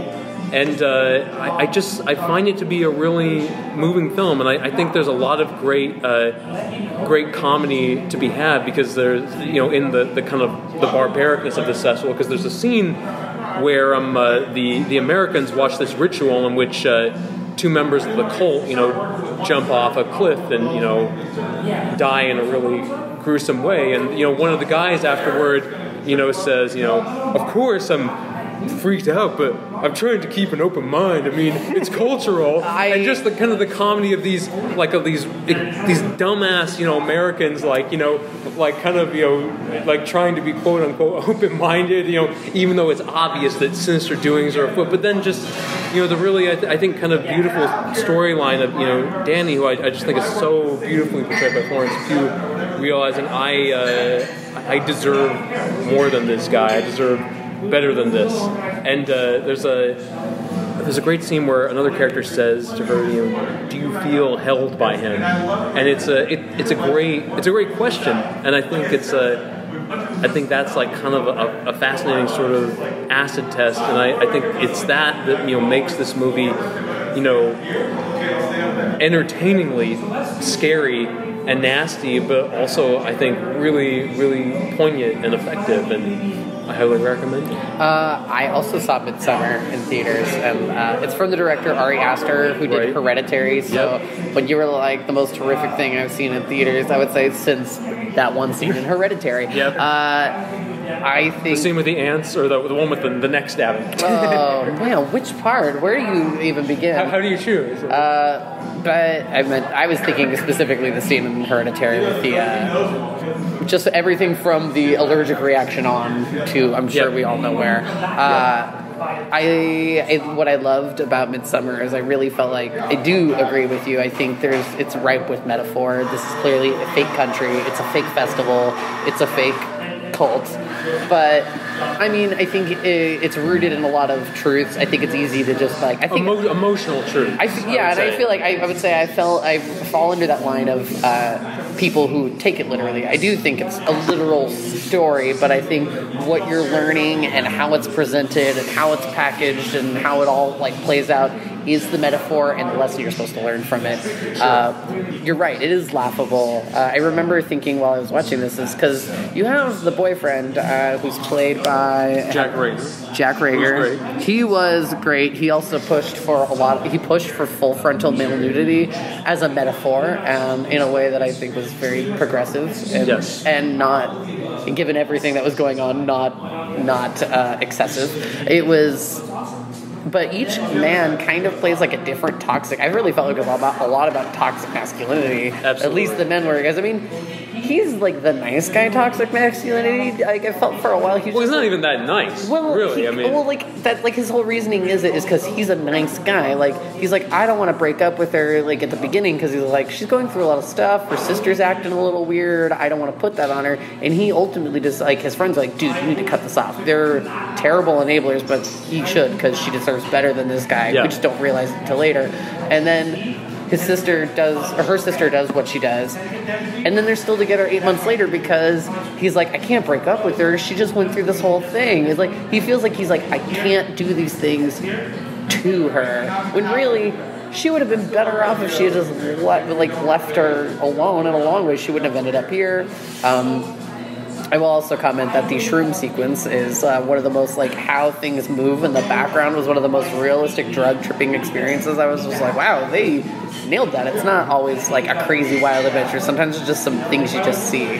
Uh, but my question is, uh, what is what do you think is what did you think of the overall? Did you get the commentary about toxic masculinity? Because I feel like each man kind of plays a different role, but he plays the most important role because he's the worst kind, the one that sticks around and poisons the water hole because he feels like he's like he's in turn doing the right thing by not breaking her heart, not offending these people, but really there's something darker going on. I, I guess did you get any of that vibe from it? Like, did you pull Absolutely, the toxic yeah. masculinity And from that? I love, I love that you you brought that up. And, and by the way, I would say it's it's been a great year for movies dealing with toxic masculinity because there's been a, in, it's the whole spectrum Yep. of that thing has been dealt with. I think in really interesting ways in a lot of movies this year. I mean, I, I like that you have very different. Uh, archetypes of toxic masculinity. You have, you know, the the Jack Reynor character, who's um uh, like kind of,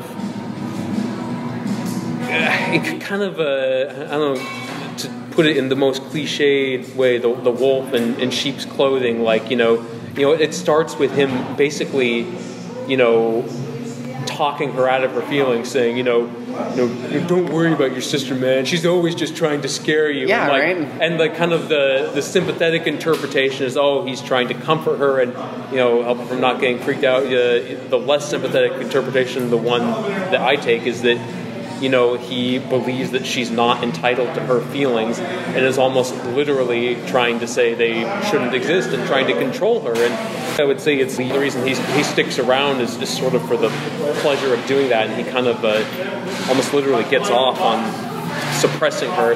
But then you get you get really different like uh, you know d- different.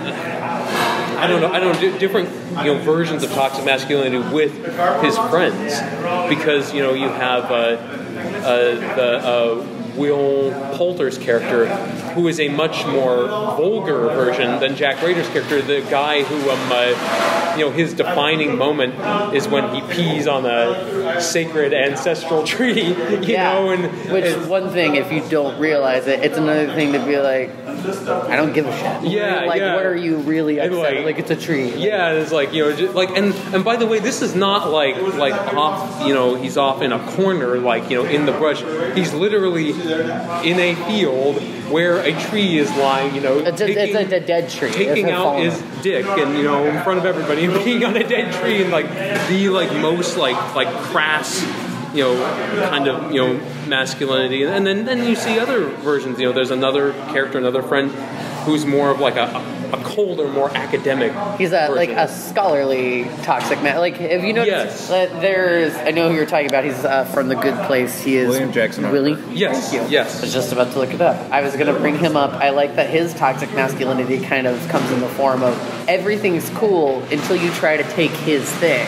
That's when he goes off the rail. Like, like all of a sudden it wasn't his. Um, and I don't know. I think they. I love that this movie kind of like breaks down these characters to a point that when whatever terrible fate happens to him, you don't really feel bad. Like at the end, I really felt like I should have felt bad for some of the, specifically the fates of one of these characters.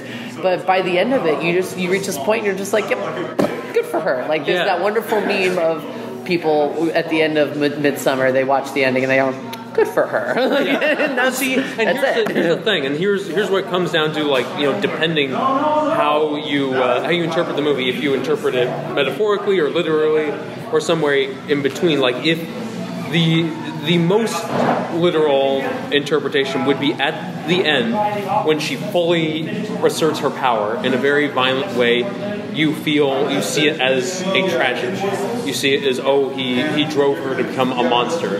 You know the the the. the in between interpretation is like you know well maybe she's a bit monstrous but he had it coming the the interpretation that's metaphorical and the one again that I subscribe to is that what we're seeing is, is not something that is actually happening but a kind of a cinematic representation of what we all go through where we're um, uh, when we're kind of escaping from you know people who are poisoning our souls and that you kind of and the, the sort of the recovery process emotionally is violent and is barbaric and it is in some ways like in some cases like cutting off a limb or you know or in the case of the movie uh, lighting it on fire you know but, um, uh, and that and that's why like i can never like watch that smile at the end and, and feel like you know like oh god she's evil it's like no i feel like she's I think I feel like she's whole again I really feel like they build up the story enough that you don't feel you don't feel that way. You're finally like, oh, good,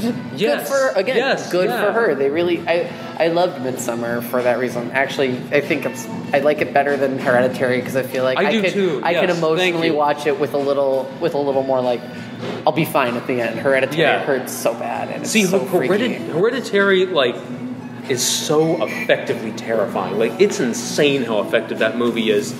But you know, kind of getting back to the idea, like we were talking about earlier, Mo, of like not necessarily liking being scared. Like, like even if I can recognize Hereditary's effectiveness, I, I don't want to feel that way particularly often. You know, whereas like Midsommar, like this kind of like slow, you know, churning Hitchcockian tear, you know, where it's kind of like you know the suspense is gradually ratcheting up and it's unsettling but also kind of amusing you Well, know and it's it's like- more about suspense than than horror even though you know there's certainly blood and guts you It's know? definitely reminiscent of Wicker Man, where it's like it's creepy to look at. Not the one with Nick Cage, the original, where you're like, not the bees not the bees, but uh, where I mean, like the original, where you're just like you're looking at things, and you're like, I'm unnerved and I'm uncomfortable, and you're like, but is it is this part of it, or is this something scary I should be afraid of? And Yes. I think it definitely leaves you on that footing for a long time. well we have to wrap up Yes. i don't i don't want to exhaust you guys but uh, with your permission i'd like to ask you one final question Sure. Okay. So I mean, I mean, last year we kind of we got a little bit meta. We talked about the process of you know choosing a favorite film of the year and like you know what that means to each of us. You know, kind of what that's like to go through because I think you know as as you guys know, it's a it, it can be sometimes more complicated than people would think. It's not always obvious. Sometimes it requires a little soul searching. I, I wanted to, in that vein, ask you guys um, uh, and I can go first if you need a minute to think about it. But I mean, I mean, just you know, so much of what we do as critics revolves around making lists, and they can be fun, they can be absurd, they can be a little bit of both. Either way, it's this inescapable part of People like what lists. Mm-hmm. we do. And I just, I wonder, like, like what? I mean, like, what? What's you guys' attitude toward lists in general? Do you think film criticism emphasizes them too much? Do you think they're a kind of necessary part of it? And and if so, like, what do you think? What do you think they offer? What do you think they they they give us both? You know, in terms of us as critics making them, and you know, in terms of you know readers or listeners absorbing them. So you're asking uh, what lists do for us as critics, or what lists do for everyone, or a little bit of both. I would say a little bit of both, but whatever whatever part of the question you want to dive into. Um, how about you go first? Sure. Uh, what like? Yeah, let you go first. I think you know. I mean, like I, I tend to have like like kind of a jokey attitude about lists. Like, you know, oh ha ha, I'm making another list. Like like you know, for instance, now that the Star Wars sequel trilogy is complete, I've been doing something I've been looking forward to, which is uh, making uh, Ranking all nine? well, well, no, actually, I'm. Uh, well, I want to do that too, but I'm uh, ranking the the best moments of the of the sequel trilogy, and you know, which um, uh, once you've put the um, the fight with uh, Snoke's guards at number one, it's actually quite hard figuring out what follows that. But and, and you know, it, and I just I love doing stuff like that because I feel that you know as ridiculous as lists can be and as absurd as it can be, like you know getting into you know splitting hairs of like, well, is this movie or this performance you know like a hair better than this one? You know, as, silly as that can get, like I really think that lists are a chance to express something, you know, and it, I, I do think it's kind of, I think it's really fun to, you know, say, hey, you know, this performance, this movie, or this scene, like, I value it this much, or I value this above, you know, the others on this list. You know, we talk about movies being our children, but, and definitely we have emotional relationships to them, but they are also objects, and that enables us to you know do what we would hopefully never do with an actual child, which is you know kind Rank of 'em. ranking them to express something about what means the most to us. So that's that's that's my personal take on it. Um, Mo, do you have an opinion or? Um, I just think lists. It's it's. I'd say they're easier to write. I mean, easier to read. It's just it's a quickie top. You get you get the topic up front. You get just like little bits of. Um, you can you can skim it. You can just be like, oh, number ten was this one. I don't feel like reading more about that. Number nine was this one. Oh, what does they say about that? Um, it's it's a format. It's just an, it's another. It's just a way of I, I I didn't I haven't put too much thought into it. It's just a way of organizing things. Um, yeah, I don't have much to say on this subject. I'm sorry. I, I mean, as one of my favorite, as one of our favorite YouTubers say, uh, the internet likes lists. Uh, and uh, her name is Jenny Nicholson, and regularly she goes, "I made a numbered list, but the numbers are arbitrary," and she'll give the numbers you, are just things she wants. The art. She's already decided what she wants to talk about. Yeah, uh, they're one of my favorite videos. Is uh, ten favorite things that I like to do at Halloween. Is her video, and when she opens it up, she goes, uh, "Here's just some things." I said there was ten because it's clickbaity. I think there are people who like lists. As a person, when it comes to uh, picking the movies out, uh, I sit down every year and I just I go to a website that has listed everything by release date, and I literally make a list. And then when you're like, oh rank them. And i'm like okay then i just do start breaking them apart. I'm like you know what do i want to watch again? Like what stuck with me? And i think it's easier to make a list. Uh, now if you had told me to list 10 things i love about parasite I could do it, but I think by doing it breaks it down so much that I couldn't do it without giving everything about the movie away. It really only does somebody some good. I think some lists are good for that. But as a person who has also followed lists, uh, I recently did the I, last year. I listened to the 500 greatest albums of all time as ranked by Rolling Stone 10 years ago.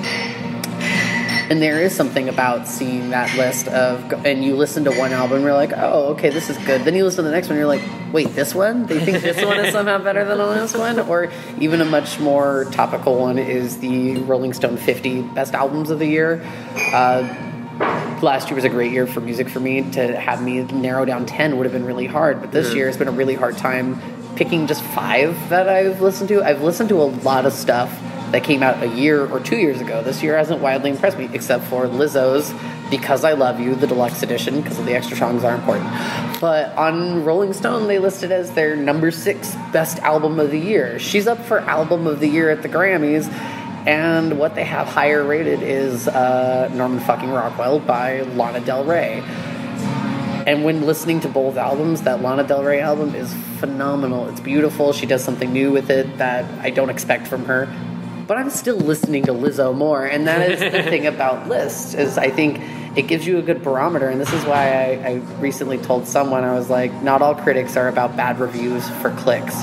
What you need to do is find somebody who you can kind of meld with. They're like, I feel this way about a movie. You're like, I also feel that way about a movie. It gives you a barometer of if this person likes it, I might also like it. And I think that's really what we do by breaking down lists. Hopefully, somebody is listening to this because, oh, they all really liked Parasite, or you know, like it was on a lot of people's list. Maybe that will drive them to go see a movie that is maybe technically good, maybe they'll like it, but ultimately they could still go see Parasite, which was on two of our lists, and listen to Lizzo and hate both. like, And there's there's also something to I found something to say. There's also, there's also something to just be Take like away. I want to talk about more than one thing. Like Yes. I just I I'm not gonna I don't want to say like this was my favorite movie of the year. It's just like there was a lot of movies that were my favorite movie of the year. I watched a lot of stuff that I liked that I feel like talking about that I think or that I think should get more attention.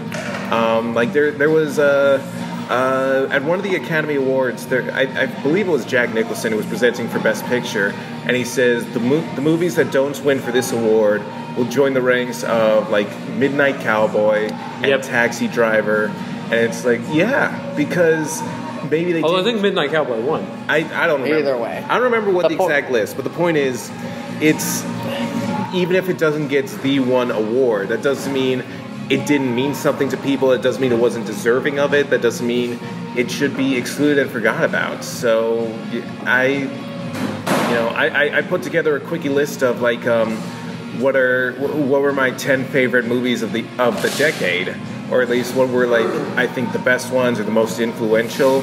Not all of them are going to win awards. Not all of them uh, are even going to be nominated. But it doesn't mean that they they didn't leave a legacy. Yes. And I feel like for Liz, that's you have the flexibility to do that. Yes, I think that's so true, and, and also I think um, uh, you know, as much as people try to promote the myth of critical consensus, whether through Cinema Score or Rotten Tomatoes, it, it truly is a myth. It's fake. It's you know, it's as fake as unicorns and dragons. You can find every movie. You will be able to find someone who loves it and someone who hates it. You know, I've even I've you know, I've talked to people who you know don't I've talked to at least one person who doesn't like The Godfather. You know, I mean, there's always someone. You know, and that's and that's what's beautiful about this whole thing, and, and that's another reason why I like lists. You know, your your list is yours. It's going to be unique. It's uh, you know, it's it can be a statement of like the movies that matter to you in a year or in a decade, and it's therefore I think like one of the most succinct forms of self-expression you can have as a as a critic. You know, and I just I just made and published my own decade list, and it was uh, it was it was thrilling because you know, like just to be able to say like these were the movies that uh, mattered the most to me. Not the movies that were the most important or the most profitable, but but these were you know the ones in particular that you know I'm you know gonna watch and rewatch you know for years, and in some cases already have done. You know, what I mean, and that's that's exciting. That's I think one of the one of the one of the most fun parts about this this whole crazy ride we're on. Well, and I also think it's easier when you when you break, and I think you really break it down really right there for you. Is like when you talk about a year, I think it's easy to go. There were 500 movies or so, whatever, released in this year. You're like, these 10, I love them because they made me feel something, or I think they're just technically a good film, or they did this or that. The wider you break, let break that up to a decade, I'm just thinking of like, I don't even know if half of my list would be considered technically good movies because even last year when faced with the best of i believe my pick for last year for favorite movie and the one that also affected me most was colossal. And it, to Yes. this day i That think was it's 2017. was that 2017 oh yeah, okay so but even then i still think that is by choosing what affected me i was like will colossal be remembered into the future? Maybe not. I mean i know a lot of people who've already like forgotten about it or they never heard about it in the first place and they probably never will but if you asked me, it might be on my best of the decade because in that moment, at that time, it felt like it meant something to me. I think people should take these lists as not the decider of what is good, but more of a barometer of things to keep your eye out for. Uh, Yeah. Another one of my favorite uh, critics in Portland or film aficionados put up his list of 15. He did a list of 15, and who was it? uh, the person who runs the queer comedy or not queer queer horror at Oh, yeah. uh, at the Hollywood, and I mean I think at least half of them were horror films, and almost none of them I had heard of. But this person loves horror films, and I really like horror films, so I took some notes. I was like, "Lose." Uh, what was the other one you mentioned? The Perimeter, Uh, Sen- the Sentinel. the Sentinel. Was that from this year? That, w- that no, that movie came out in like 1978, Oh. but we they showed it at Queer, Queer Horror this year. So okay, there's another one. I'm just thinking of it. It almost sounded like. But the fact of the matter is that this person put up a bunch of movies, and I was to say that are any of them going to be nominated? I would say maybe one or two, hopefully. But uh, he didn't go from that, and I think people who love him will go, oh, just like me. I was like, I want to see in the fabric of the movie about a haunted dress. Like but that's who i am and that's Yes. so hopefully I, that's why i'm always like listen to your critics because they do know something but formulate your own opinion. And Yes. that's just why like i didn't hear anything positive really or like overwhelmingly positive about hustlers today until i sat down with both of you and i'm like okay i guess i'm gonna watch hustlers now. Up until today i thought i'd never watch it. So and that's just how uh, but that's because i i trust your guys' opinion so Well, and uh, and I promise I really will wrap this up. I love I love this. I love this topic. So I have to say at least a couple more things. I mean, like you, I mean, you're, you're getting at, like you know how personal this kind of thing could be, like what what you were talking about about colossal. And you know, I remember uh, Manohla Dargis once saying, you know, that one reason she'd kind of fallen out of love with Pauline Kael is she's felt that Pauline Kael was too obsessed with how movies made her feel, and she said, you know, there's more to um, you know a movie that basically than how it makes a critic feel. But I I come from a very different perspective because you know I, I do think that the colder, harder part of criticism, you know, the research, for instance, on a director or actor's career, you know, the, the kind of the reporting element, I think that's crucially important. I think you know it's something you have to master. But then at the same time, I feel like like how you feel, your personal reaction, you know, that's something that is specific to you. That's what you can offer that no one else can. And I think if you know that doesn't come into at least some of your criticism, you know, you are uh, you're, missing out on a, a huge huge weapon in your arsenal that's going to make your you know writing unique and special and cathartic. I mean, like one you know thing that really guided me when I was making my best of the decade list was that you know at the beginning of this uh, decade, uh, like I you know fell in love, and in a lot of ways it went very badly, and a lot of the past you know decade has been like kind of working out on that, and like you know last year was the year when I felt like I finally closed the book on that chapter in my life.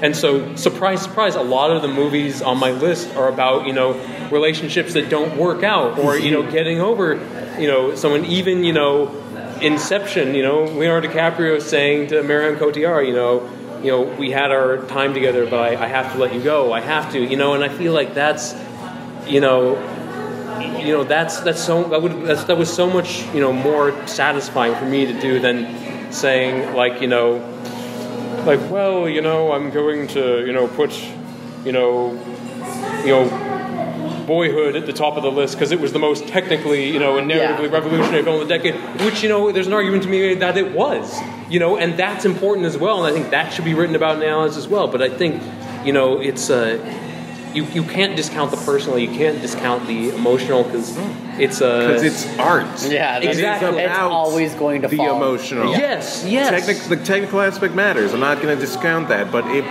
I, something I, something that's been that has very much pissed me off for a while about criticism is the notion that objective criticism exists, Yes. and it doesn't.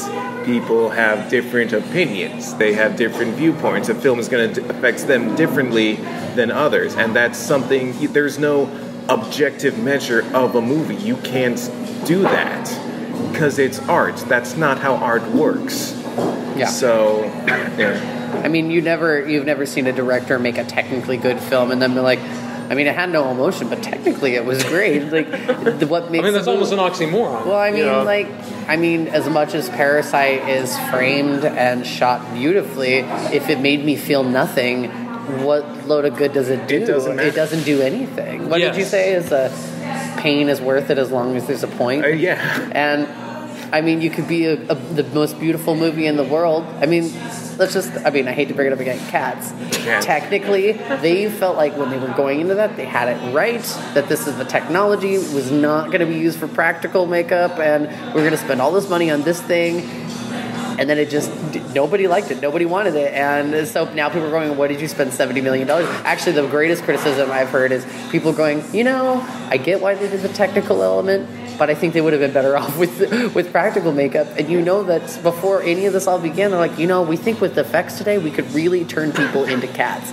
And like again, from one end of the spectrum, sounds like a good idea. From the other end, is not. So Your scientists are so busy with whether or not they could, they never stop to think of whether or not. I think we should end on that. I think we should end on that too on a nice Goldblumian note. Thanks, All cats. right. Well, if you like this podcast, please click thumbs up and subscribe to our YouTube channel. Don't forget to like us on Facebook, and follow us on Twitter at THM Movie Reviews. And please check out all the great reviews and content we have at thmmoviereviews.wordpress.com, not thmmoviereviews.com, like I said in the previous podcast, Oh, no. and had to cut out. So, uh, So one more for the people. What's the actual website? thmmoviereviews.wordpress.com. There you go. WordPress. WordPress. Once again, I'm your host, Bennett Campbell Ferguson, here with Mo Shaunette. here with Maxwell Meyers, and from all of us here at THM Movie Reviews, happy list making and consuming.